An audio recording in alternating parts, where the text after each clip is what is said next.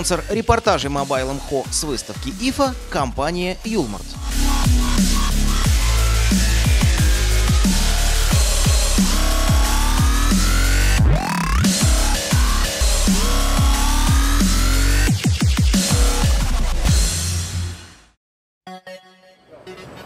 Здравствуйте, друзья! Я Андрей Соловьев.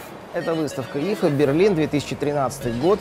А, мы на стенде компании Sony, где среди прочих новинок был представлен новый флагман, новый флагманский смартфон от Sony, который называется Xperia Z1.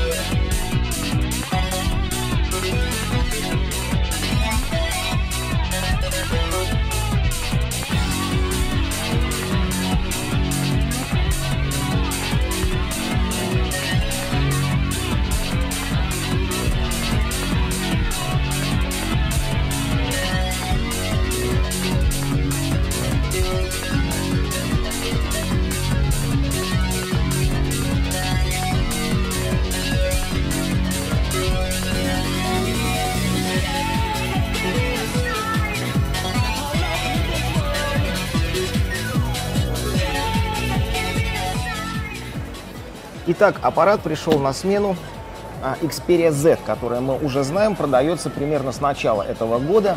А, на мой взгляд, аппарат стал немножко больше и немножко толще, но а, все это оправдано теми материалами и той начинкой, которую компания Sony умудрилась туда запихнуть. Первое, он стал действительно чуть-чуть больше в толщину, это 8,5 мм против примерно 7 мм, даже, по-моему, 6,9, если я ничего не путаю, у Xperia Z. Но теперь эта штука вмещает аккумулятор емкостью 3000 мАч, что, в принципе, гарантирует, а, ну, по крайней мере, на четверть более долгую работоспособность устройства.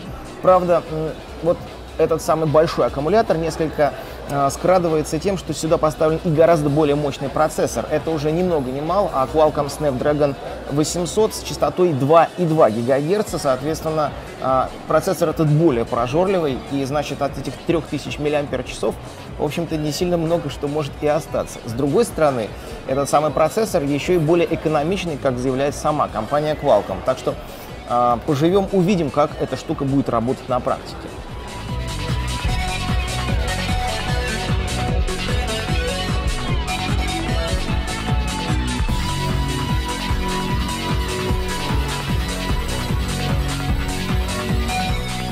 Какие же изменения нам показывает режим электропитания стамина по сравнению с версией в Z? Напомню, что там емкость аккумулятора была, по-моему, 2350 или около того.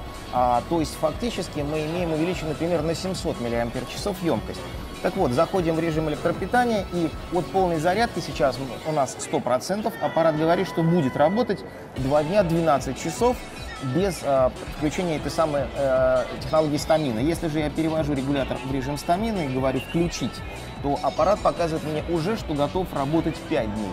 Кстати, на презентации, которая крутится на этом телефоне, э, на стенде показано, что он чуть ли не 9 дней может работать. Ну, конечно, поживем, увидим. А в режиме ожидания он пишет, что вообще проработает 20 дней и 20 часов. Интересно.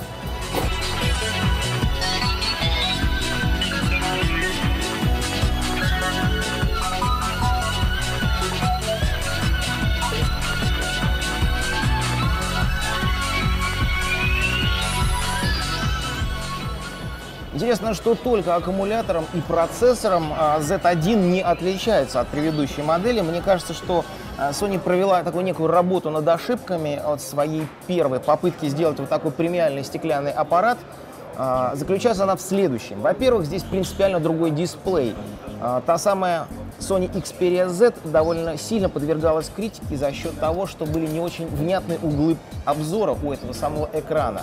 А в Z1 применяется совершенно другая матрица. В самой Sony это называют Triluminous Full HD Displays, естественно, с uh, Sony Bravia, Mobility, Reality и так далее, со всеми регалиями, которые только возможно. Но фишка в том, что дисплей действительно стал принципиально лучше и, естественно, сохранил те же самые 5 дюймов и то же самое Full HD разрешение, но теперь, помимо классной детализации, он действительно может похвастаться э, очень хорошей цветопередачей, но главное, очень хорошими углами обзора.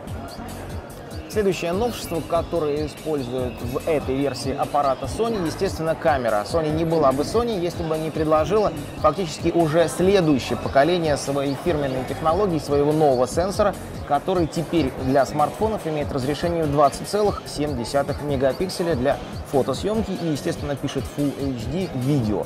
А, более того, Sony здесь использует так называемые линзы серии G. Это высококачественная оптика, которая используется на профессиональных камерах Sony. Кроме того, камера имеет апертуру 2 при фокусном расстоянии в 27 мм, а всеми этими чудесами управляет новая версия специального процессора обработки Bionz.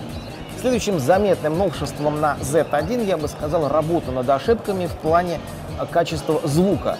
А, первой z было довольно много претензий, в том числе и у нас, когда мы его купали в нашем аквариуме, то, что вода попадала, и, собственно, он был не слышен, пока она не просохла в этих самых отверстиях. Теперь динамик ушел со стороны на нижнюю поверхность, и фактически здесь под сеткой закрыта вся нижняя часть устройства, весь нижний торец, и, к сожалению, нам не удалось сейчас его искупать, но я надеюсь, что в этом отношении Sony тоже подумала.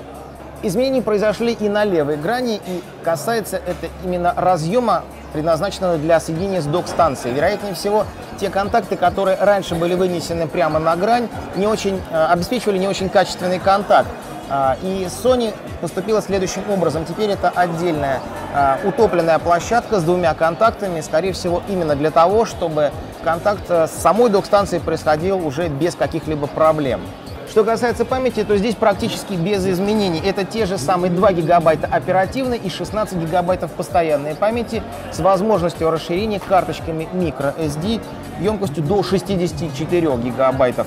Ну и самое главное, что осталось Z1 и за что, в общем-то, первое поколение было очень и очень э, хвалимо всеми журналистами и пользователями, это водонепроницаемость. Здесь остался тот же самый IP55, и IP58. На самом деле довольно странно, что Sony указывает оба э, стандарты через черточку. Не совсем понятно, что имеется в виду, но главное, что аппарат может э, прямо сейчас э, попадать в воду на глубину до 1 метра, находиться там до 30 минут без каких-либо проблем, в том числе снимать на эту самую классную камеру то, что там получается.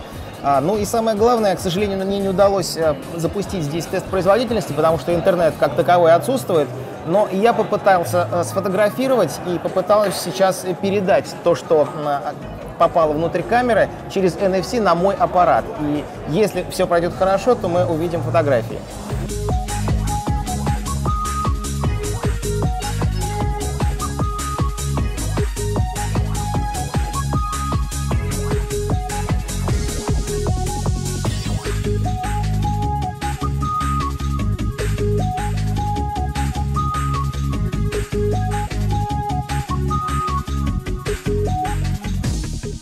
Попробуем передать на мой HTC One с помощью Bluetooth. У нас есть, по крайней мере, один кадр. А, дело в том, что аппарат, э, который пристегнут на стенде, даже если я перевожу его на русский язык, делаю какие-то фотографии, записываю видео, буквально через 30 секунд сбрасывается опять на демонстрацию на немецкий. Э, так, э, вероятнее всего, сделана сама прошивка.